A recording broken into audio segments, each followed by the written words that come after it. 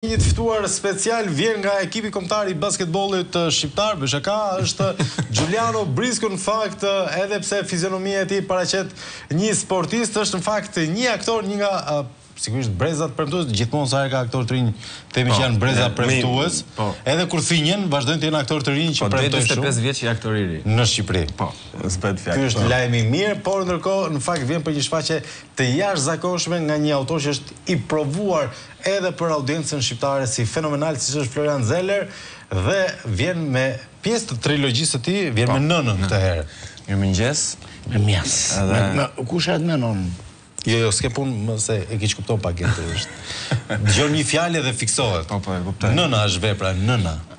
Nëna. Nuk është nënën? Jo, jo, nuk, jo, jo, është në darkë ajo. Ajo është në darkë. Edhe kjo është në darkë, në fakt, por kjo është në teatër, ajo që thua ti është te syri televizion. Mirë. Xhuliano më trego pak një herë raportin tënd me këtë vepër, se sigurisht do të ketë një lloj presioni edhe për ty si si artist. Ah, po, po, është si ta them, është një ndër rolet më të vështira që në këto vite eksperiencë kam, më ka rënë për pjesë, si i thonë, kur regjizori Met Xhelili Ma propozoi thashë jo. Prit një herë. Prit një herë si është kjo punë të vrasësh nënën tënde. Di na foli. Por sot po e vrasin të gjithë nënat në një farë mënyre. Ë Florian Zeller është një gjeni për sa i përket gjitha veprave që ka shkruar një nobelist i madh, edhe Ai prek temën e braktisjes së nënës. Sot kur bota po tërfullon edhe niveli i ritmit të jetës është shumë i lartë, ai prek një një ndër gjërat më emocionale që mund të ekzistojë, që është nëna, që ajo duke investuar gjithë jetën e saj të kujdeset për familjen, duke i mbajtur të gjithë të bashkuar, por vjen një moment që burri duhet të shkojë në punë dhe largohet, djali duhet të vazhdojë jetën e vet, po ashtu, del nga shtëpia, Po ashtu edhe vajza është larguar, kurse ajo gjendet e vetme për për dhe brenda katër mureve ajo vuan vetminë e saj. E gjitha kjo vepër është, nuk e di, është e jashtëzakonshme për faktin e vetëm që ajo ndodh çdo gjë në trurin e nënës. Domethënë gjërat ndodhin ose nuk kanë ndodhur fare. Këtë, kjo është shumë e veçantë, është një nga trilogjitë e Florian Zellerit. Që edhe pak thriller.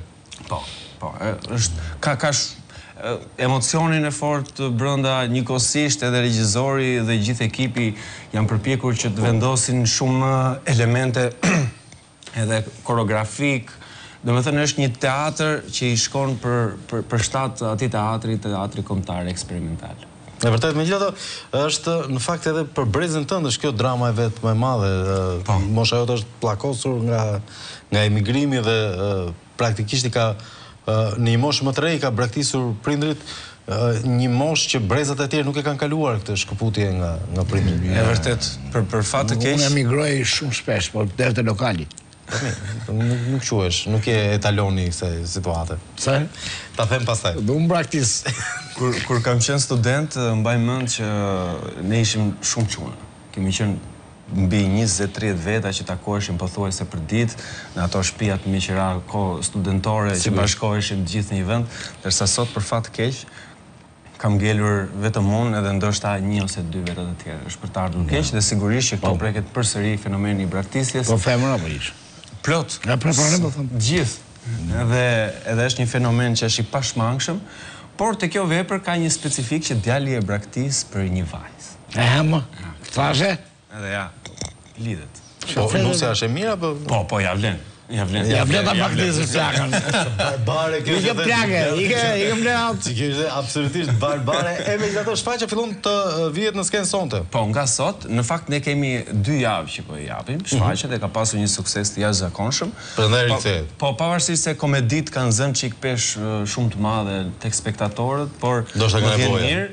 Po, patjetër, kur duke pasur kaq shumë halle dhe por besoj që kjo shfaqje e ka rikthyer përsëri sepse njerëzit duan edhe emocione të forta. Ndonjëherë thonë që nuk duam të vemi nëpër drama se boll halle kemi, por ja ka raste të tilla sepse duke qenë se të katra personazhet janë aty, është dhe nëna dhe babai dhe djali i ri edhe vajza e re, domethënë që dashur pa dashur çdo spektator që vjen do ta gjejë veten tek tek tek njëri prej tyre pa diskutim. Absolutisht dhe kasti është fenomenal përveç Xhuliano Briskut që është këtu me mua dhe përveç një regjisori si Met Xhelili kemi Ema Andrea. Ema Andrea që luan rolin e nënës, Helidon. Është personifikimi i dhimbjes është ajo në fakt.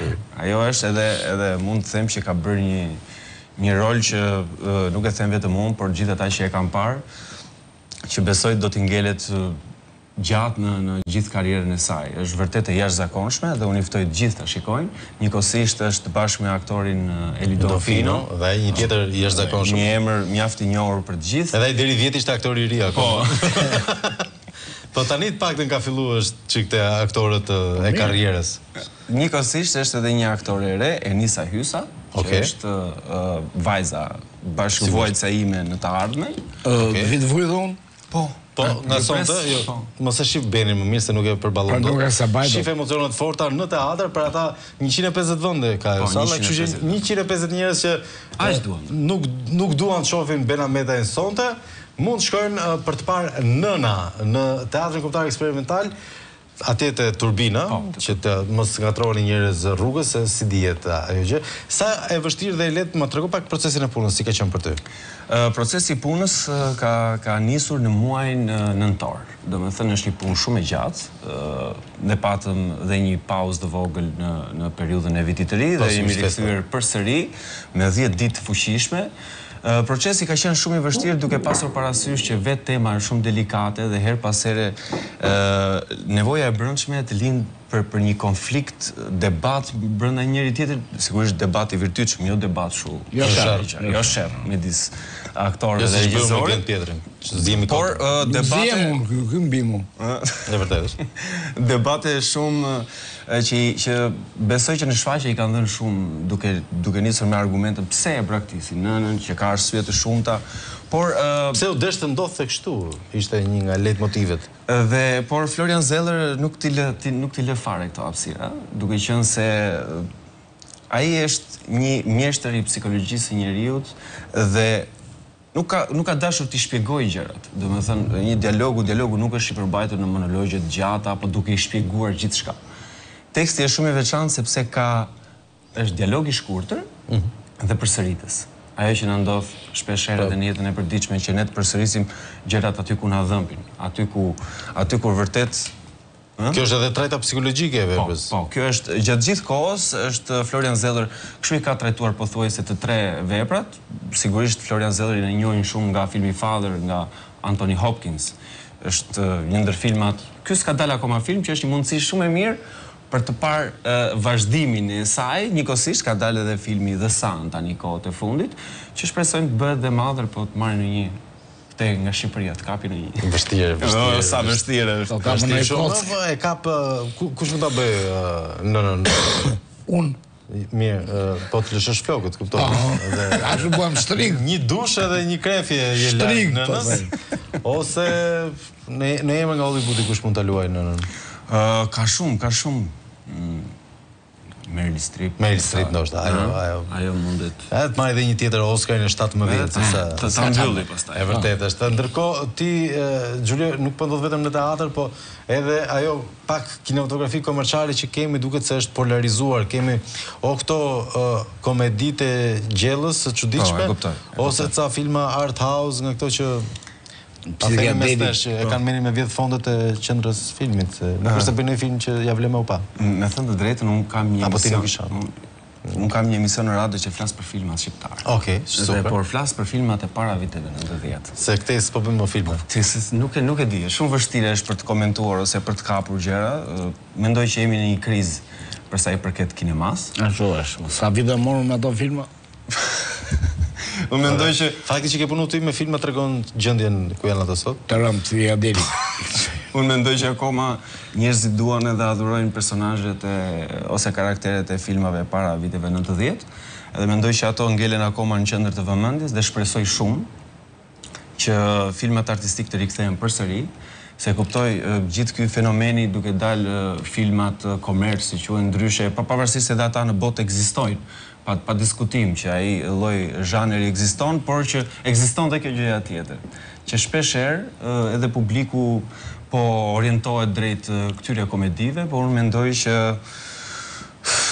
problem i madh derisa të kthehet.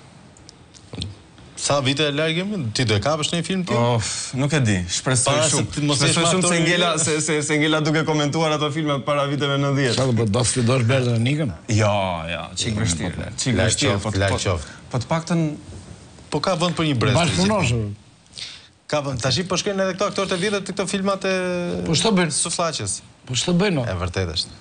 Ku do të shkojnë? Kanë, kanë pagesë mrekullueshme. Ashtu ë? Po, po. Po ty do do të çojë edhe ty, do të çojë kënjë në një film. kënjë- Te Unë Ermani bolli Maçi. rrënuar. U ku më? Te filmat e Erma- e, nëse kjo është histori tjetër, e di që jemi keq me kohën, atëherë t'ia rikujtoj publikut atij që po na ndjek në këto momente Nëna nga sonte rikthehet në Teatrin Kombëtar Eksperimental Kujtim Spahivogli në orën Në orën nëntëmbëdhjetë. Në orën nëntëmbëdhjetë, në orën shtatë. Po. Kur mbaron shfaqja?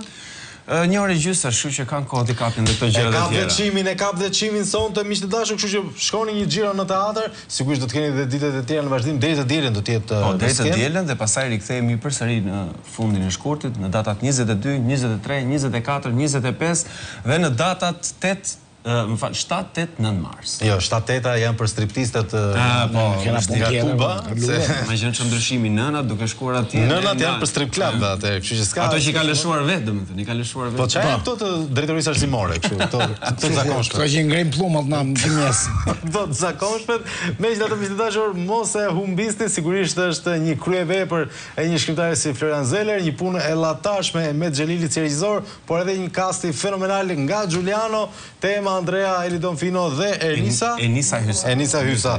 Mos ta harrojmë edhe Enisën se sigurisht edhe ajo duhet të ketë bërë një punë fenomenale përderisa ka arritur deri aty. Xhuliano, shumë suksese. Si si uroheni ju tash? Apo Varja, mbarë e mirë o zot ishalla. Flasim për klubin.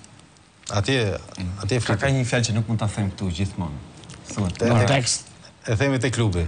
Aty ku duhet të thuhen gjithë gjërat e vërteta në këtë jetë, miq të dashur. Faleminderit shumë për çdo sy dhe vesh që na keni kushtuar, e di që keni pasur mendjen te Tigri dhe do të presim gjithë ankth sonte se çfarë do thotë Arben Ahmetaj